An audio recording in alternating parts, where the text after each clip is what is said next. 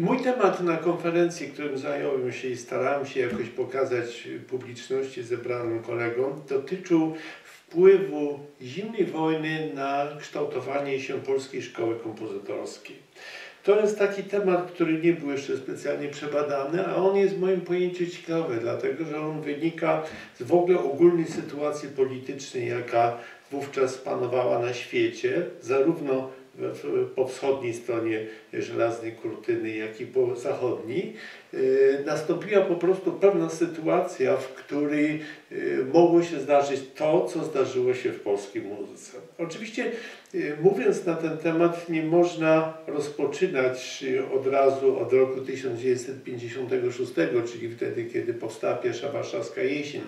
Tu właściwie trzeba by cofnąć się aż do okresu przedwojennego, to znaczy wtedy, kiedy no, Hitler doszedł do władzy yy, w Niemczech i kiedy również była bardzo agresywna propaganda i polityka kulturalna i po drugiej stronie Związku Radzieckim, kiedy już Stalin był w pełen, yy, pełen yy, posiadł pełną władzę i również zajął się kulturą i wprowadził swój sposób widzenia, e, widzenia świata, widzenia kultury, widzenia polityki, widzenia gospodarki, no co w przypadku kultury i w przypadku muzyki owocowało pojawienie się doktryny realizmu socjalistycznego, która, która to doktryna no w zasadzie była aktualna, można powiedzieć, no co najmniej do końca lat 70., jeżeli nie początku 80. No w Niemczech oczywiście to było krócej, bo no, przyszedł kataklizm, II wojna światowa, wszystko runęło i już po wojnie, po wojnie e, powstał zupełnie nowy, inny świat. E, po wojnie właśnie, po 1945 roku e, sprzymierzone państwa, które walczyły przeciwko hitleryzmowi, bardzo szybko się podzieliły bardzo szybko pojawiły się bardzo istotne różnice w podejściu do, do polityki. Yy, pojawiło się rozdzielenie, rozdzielenie świata na sferę wpływów yy, sowieckich i sferę wpływów amerykańskich. W 1948 roku bodajże pojawił się już termin żelaznej kurtyny, i zimnej wojny. I od tego momentu te dwa bloki działały y, niezależnie od siebie. I w gruncie rzeczy na każdej płaszczyźnie były w stosunku do siebie wrogie. E, jeśli chodzi o y, Związek Radziecki, no to polityka kulturalna za, uległa jeszcze większemu zaostrzeniu niż to było przed wojną pojawiło się cały szereg rezolucji partyjnych, które w sposób bezwzględny narzuciły, e, narzuciły artystom, artystom określone sposoby działania, to znaczy e, uznały, że jakiekolwiek wpływy idące z zachodu są degeneracją, a on blok potępiły, potępiły w zasadzie kulturę krajów zachodnich i socjalizm, realizm socjalistyczny był tą jedyną jedyną możliwością, jaką mogli się wypowiadać artyści. Przy czym w przypadku Związku Radzieckiego był to szczególnie okrutny szczególnie bezwzględny, dlatego że tych nieposłusznych, czy tych nie do końca przekonanych, czy tych nawet, którzy się nie potrafili dostosować do, mm, do oczekiwań i do żądań władz, no to pozbawiali ich właściwie, można powiedzieć, środków do życia, wyrzucali ze związków twórczych i ci ludzie no, przechodzili rzeczywiście gehenny, która w paru przypadkach w ogóle kończyła się śmiercią. To no, oczywiście nie było we wszystkich krajach socjalistycznych tak. W Polsce na przykład y, jednak mimo wszystko nacisk władz na kulturę nie był aż tak silny, ale w przypadku NRD czy Czechosłowacji to, to niewiele różniło się od tego, co było w Związku Sowieckim. Z kolei po drugiej stronie żelaznej kurtyny sprawy miały się zupełnie inaczej. A mianowicie yy, Ameryka uznała, że trzeba pokazać światu wschodniemu, że artyści są wolni, że nie ma żadnych ograniczeń, że mogą tworzyć tak jak chcą i że mogą tworzyć nową sztukę, także nową muzykę.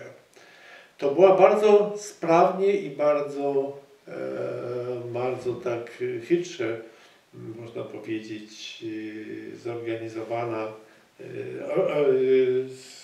zorganizowana polityka, która oczywiście kosztowała masę pieniędzy, a inicjatorem tego było, o czym dziś już dobrze wiemy, CIA.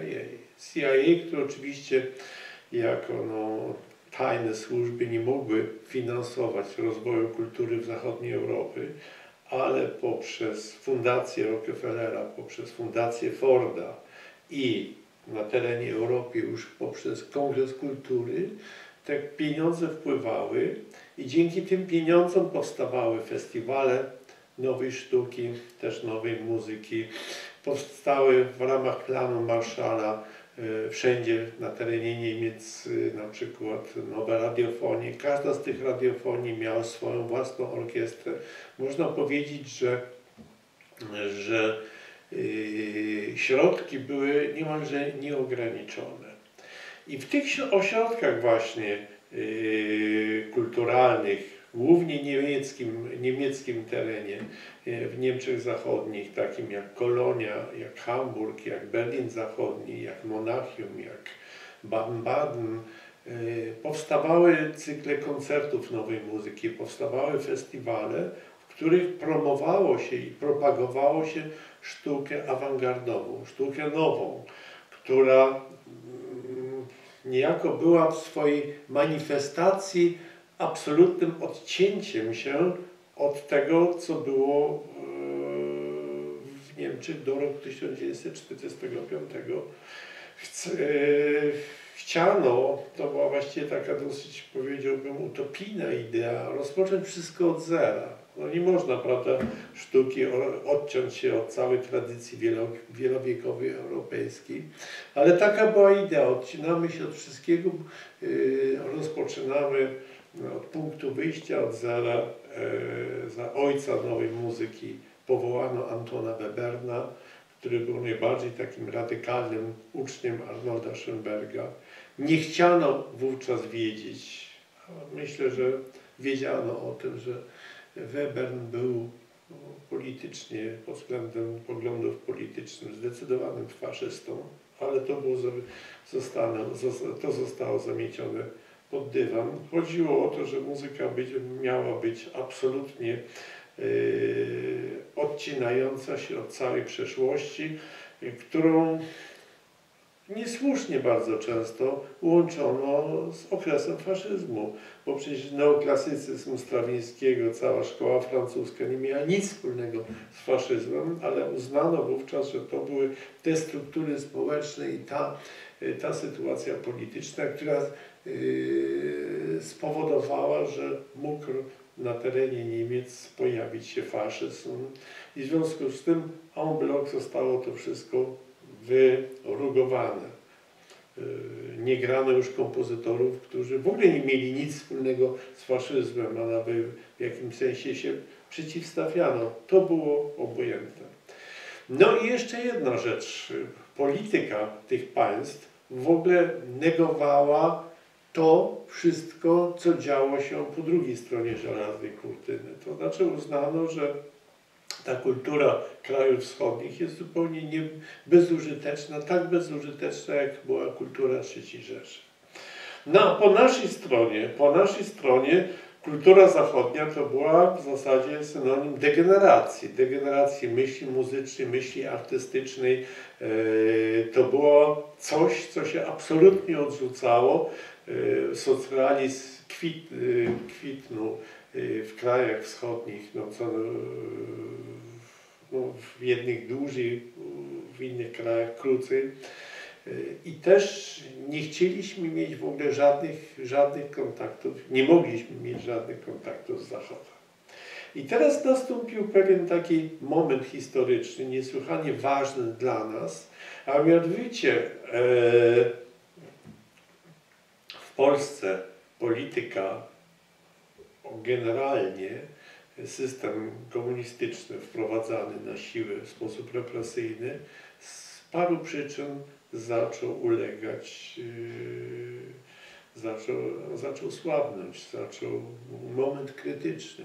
Pierwszym momentem krytycznym to były yy, audycje światły wysokiego urzędnika, Józefa Światły, wysokiego urzędnika UB, który uciekł na zachód i opisał, opowiedział poprzez radio wszystko to dokładnie, co było się, co działo się i jakimi metodami rządziła ekipa Bieruta. To był wielki wstrząs polityczny, który niesłychanie osłabił, który niesłychanie osłabił e, ustrój polityczny w Polsce. Drugim za to idącym był Festiwal Młodzieży 1955 roku. Wydawałoby się coś zupełnie nieszkodliwego, coś nieporównywalnego oczywiście e, z, rewelacjami światłymi, jakie szły przez Radio Wolna Europa, ale to był pierwszy kontakt młodzieży krajów komunistycznych z, z młodzieżą krajów wolnego świata. No nie umiem w tej chwili dokładnie powiedzieć, jak to się stało, że, że władze mm, no, zgodziły się na organizację tego rodzaju, tego rodzaju spotkania. Niemniej po raz pierwszy jednak młodzież w Polsce przekonała się, że świat może wyglądać inaczej, że może być wesoły, że może być kolorowy, że można mówić w sposób otwarty z młodzieżą. To był taki drugi wstrząs w naszym, e, w naszym systemie politycznym w Polsce ówczesnej. No i kompozytorzy postanowili iść za ciosem, że tak powiem, skorzystać z sytuacji i e, ich celem było, ich zamierzeniem było zorganizowanie festiwalu poświęconego wyłącznie muzyki, muzyce współczesnej. Ale nie tylko krajów socjalistycznych, nie tylko muzyki, muzyce polskiej, ale w ogóle muzyce współczesnej całego świata no to wydawałoby się w ogóle niewyobrażalne, dlatego że no, muzyka za żelazną kurtyną to w zasadzie w całości była uznana za degenerację sztuki. I um, pomysłodawcy, między innymi kompozytorzy Tadeusz Bert i Kazimierz Cerocki, e, w rozmowie z władzami posłużyli się takim, wydawałoby się, naiwnym i śmiesznym argumentem. Otóż chcemy zrobić taki festiwal, w którym będziemy mogli udowodnić wyższość kultury socjalistycznej nad kapitalistyczną. I proszę sobie wyobrazić, ten argument chwycił. I z tego powodu władze przychylnie odniosły się do tego pomysłu. Oczywiście jeszcze nie było mowy o programach koncertów, o artystach, którzy będą e, zaproszeni na pierwszy festiwal, który się miał odbyć na przełomie września i października 1956 roku. No, ale tymczasem e, no, rozegrały się inne bardzo ważne wypadki polityczne.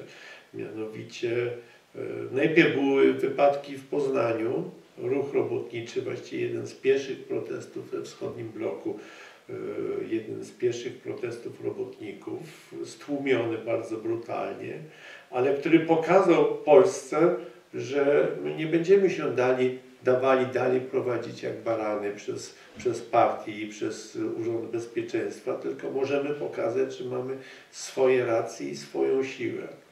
E, no i przyjście do Y, przyjście do władzy Gomułki y, jesienią 56 roku wbrew, wbrew właściwie woli Rosji Sowieckiej.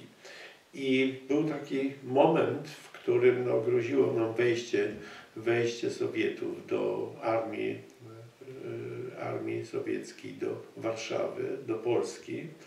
I w tym okresie właśnie odbywało się ostatnie przygotowania warszawskiej jesieni. Władze po prostu nie miały, nie miały ani głowy, ani czasu, żeby się dokładnie przy, przypatrzyć tym, czym będzie ten festiwal. I na szczęście potem, jak przyszedł już do władzy, muzyka, y, muzyka przestała interesować komunistów, przestała partię interesować i właściwie myśmy byli, y, kompozytorzy, ten, taką grupą, która no, specjalnie nigdy już nie poddawała się jakiejś presji politycznej. Nie było specjalnej polityki kulturalnej wymierzonej, wymierzonej e, skierowanej do muzyków. Ale dlaczego o tym mówię? Dlatego, że powstanie warszawskiej jesieni było powstaniem festiwalu nie tylko o znaczeniu e, kulturalnym, ale o znaczeniu politycznym, ponieważ było to zestawienie prądów, jakie były w naszym bloku i prądów, jakie były w bloku zachodnim. I nagle już na drugą warszawską jesień w 1958 roku mógł przyjechać Karl-Heinz Stockhausen, grano muzykę Buleza, grano muzykę Strawińskiego, grano muzykę kompozytorów, którzy w ogóle nie byli uznawani za, za, za poważnych muzyków, byli absolutnie e, potępiani, nikt zresztą tego nie znał. I tym sposobem stworzyła się pewna taka oaza, oaza w bloku wschodnim, która niesłychanie zainteresowała Zachód. To było sensacyjne, że w wschodnim bloku, tak szczelnie zamkniętym przez żelazną kulturę, e, kurtynę, nagle pojawiło się coś, co, co było właściwie niewyobrażalne, że awangarda zachodnia nagle była reprezentowana na festiwalu w socjalistycznej Warszawie. No i w wyniku tego zaczęli napływać od następnych warszawskich, no, na następne warszawskie jesienie e, no, bardzo wpływowi e, wydawcy nut, dyrektorzy radiofonii, dyrygenci, wykonawcy, kompozytorzy przyjechali, byli grywani, no a publiczność też przyjmowała tą muzykę entuzjastycznie, niezależnie od jej wartości, no, którą trudno było wówczas rozeznać się, co jest bardziej wartościowe, co nie, bo po prostu nie znano. To było wszystko nowe i to było uznane przez publiczność warszawską jako powiew wolności, jako coś, czego, jako dotychczas owoc zakazany który mieliśmy teraz, mogliśmy go skonsumować, mogliśmy słuchać. Pamiętam na koncerty, na, na próby generalne do Filharmonii Narodowej. To była taka próba, w którym był grany koncert fortepianowy Schönberga. E, I sala nie mogła pomieścić słuchaczy, którzy przyszli nie na koncert, tylko przyszli na próbę generalną. Na w ogóle dostanie biletów na koncerty warszawskiej jesieni właściwie było już możliwe tylko dzięki wykupieniu abonamentów i dzięki no, zaopatrzeniu się w te bilety na dobrych parę tygodni przed rozpoczęciem festiwalu. I równocześnie, i tu jest znowu jeszcze jedna koincydencja, pojawiła się grupa młodych kompozytorów, którzy właśnie kończyli studia, e, którzy, dla których warszawska jesień stała się możliwym miejscem gdzie debiutowali. To był w 1958 roku Henryk Mikołaj Kurecki, w rok później Witold Szalony, Krzysztof Penderecki, e, którzy weszli w sposób zupełnie naturalny ze swoją nową muzyką, muzyką zupełnie niepodobną do tego, czego ich jeszcze uczono, e, nie mającą nic wspólnego ani z neoklasycyzmem, ani z folkloryzmem, ani z tymi dawnymi technikami, nagle pojawiła się rzeczywiście nowa muzyka. I to Niemcy potem ukuli w 1961 roku termin Polskiej Szkoły Kompozytorskiej. E, właściwie dzięki dwom, dwóm utworom, które no, były takim może najbardziej e, znaczącym, najbardziej wybitnym, e, wybitną egzemplifikacją tej nowej polskiej szkoły kompozytorskiej, a mianowicie gry weneckiej Witolda Lutosławskiego i tren Krzysztofa Pendereckiego. I mówiono o polskiej szkole, o polskiej muzyce współczesnej, tak jak yy, mówiono na przykład dawniej o szkole wiedeńskiej, jak, jak mówiono o no i tu już nie będę wracał do historii, prawda. Znaleźliśmy się w centrum zainteresowania co najmniej całej Europy i polscy kompozytorzy zaczęli otrzymywać zamówienia, yy, zaczęli wydawać swoje dzieła, e, dzieła u zachodnich wydawców. Właściwie ci zachodni wydawcy prześcigiwali się, kto pierwszy będzie miał tego kompozytora, kto będzie miał tamtego kompozytora. Mm, Tak bardzo szybko, prawda, Mek e, zawładnął Pendereckim, e, t- Peters zawła- zawładnął Tadeuszem Berdem, e, Lutosławskim zawładnął Hansen i tak dalej, i tak dalej. No i to trwało tak długo, jak, y, jak długo trwała awangarda w ogóle, a poza tym no, ten Kongres Kultury finansowany przez Amerykę, przez CIA, nagle wpływy, wpływy dostały się do, do opinii publicznej. Był to w jakimś sensie skandal, że tajne służby finansują kulturę w Europie e, i już no, ten ogromny zastrzyk pieniędzy zaczął się kończyć. No ale tymczasem awangarda już się usytuowała na trwałe. Yy, Nie tylko na festiwalach, ale w programach normalnych koncertów. Normalnych koncertów. Ja zresztą pamiętam, był taki w Polsce dyrygent Andrzej Markowski. On był wtedy szefem krakowskiej filharmonii. To on w każdym tygodniu dawał jeden utwór awangardowy, współczesny, w następnym tygodniu jeden utwór dawnej muzyki. To szło tak regularnie, co drugi tydzień nowa muzyka, najnowsza, co drugi tydzień stara muzyka i zainteresowanie było ogromne. Także myśmy mieli ten swój taki okres, który byłby niemożliwy, gdyby no, nie stworzyła się pewna konfiguracja polityczna, społeczna, która umożliwiła nam właśnie zaistnienie na świecie.